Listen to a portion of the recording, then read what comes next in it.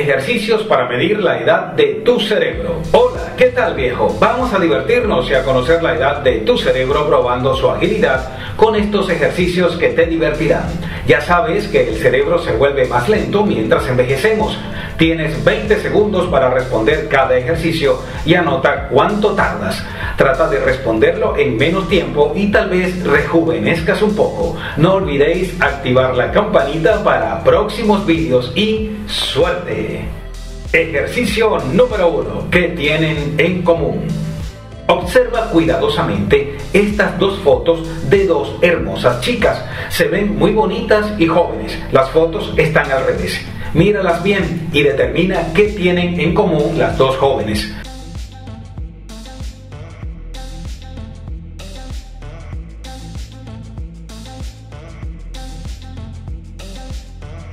Respuesta. Si aún no puedes adivinar qué tienen en común, vamos a voltear las fotos y ver las caras de las chicas. Son terroríficas, ¿verdad? Nunca lo imaginaste. Pues nuestro cerebro no puede reconocer que los labios y los ojos les cuelgan porque sus caras estaban al revés y no está acostumbrado a verlos en esa posición. Así que el defecto no lo ves, solo ves lo que te presenta. Ejercicio número 2. Puedes doblar tu lengua. Según la genética, algunas personas con rasgos dominantes pueden doblar sus lenguas. Puedes hacerlo. Trata de tocar tu lengua tú mismo en la parte derecha y lo sentirás en el lado opuesto. Esto es porque nuestra evolución enseñó a nuestro cerebro solo a sentir en toda la lengua aplanada y no a sentir algo en esa posición, tocándose ella misma. Ejercicio número 3. ¿Cuántos hoyos hay? En el siguiente dibujo sale una camiseta con dos hoyos en ella. Es fácil, ¿verdad? Puedes ver claramente cuántos hoyos tiene.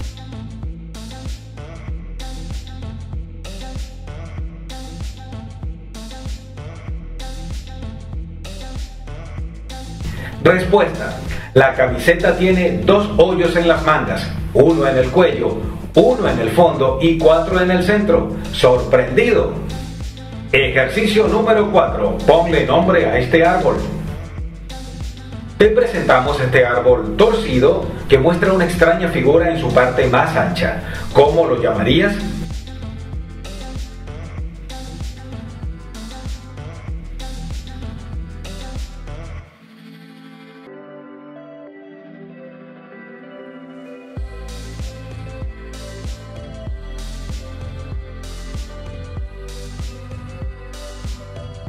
Puedes colocar todos los nombres que se te ocurrieron en la sección de comentarios. Respuesta.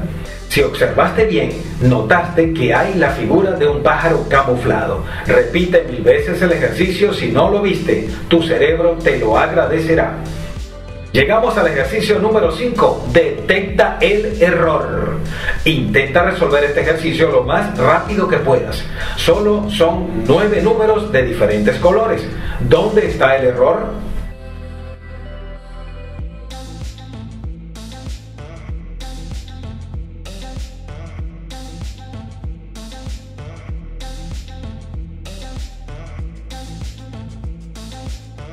Respuesta. No hay ningún error en los números o sus colores. El problema está en la palabra error, que tiene tres R's.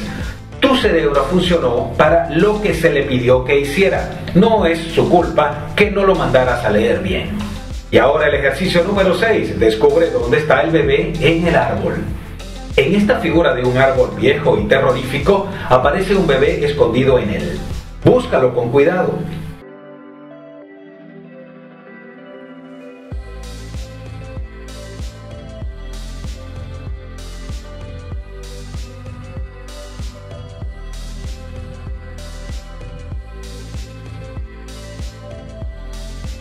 Respuesta. Si sigues con cuidado las ramas del árbol podrás ver al bebé en posición fetal.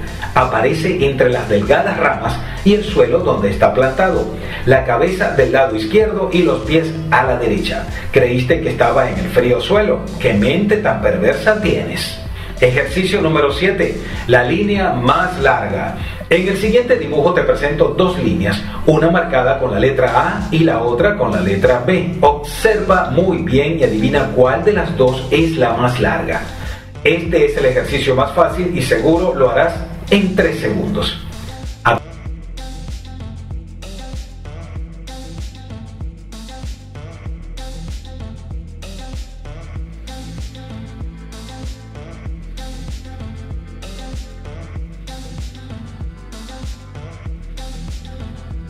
Acá tienes la respuesta. Claramente la línea A es la más larga, pero cuando haces una pregunta sencilla como esta a la gente, las estadísticas determinan que la mayoría tiende a mentir porque cree que hay algún truco y no quiere quedar como total responder algo tan fácil. Lo mismo ocurre cuando alguien se ríe con un chiste que no entendió, pero lo hace para demostrar que tiene sentido del humor. Vaya tontería. Ejercicio número 8. ¿Dónde está el marciano? En este ejercicio tienes que afinar tu vista. Es como buscar a un niño entre la multitud en una playa. Hay cientos de figuras de un famoso marciano de tres ojos, pero uno solo es el verdadero. ¿Dónde está?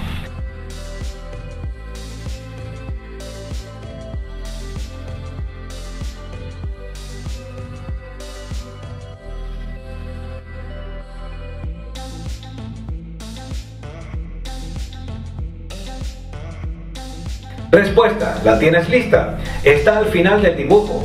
Verde igual que los demás, pero es él. Tiene un solo ojo. ¿Que no lo viste? Bueno, analicemos qué edad tiene tu cerebro. Resultados. Espero que hayas anotado el tiempo que tardaste al resolver cada ejercicio, así podrás saber qué edad tiene tu cerebro.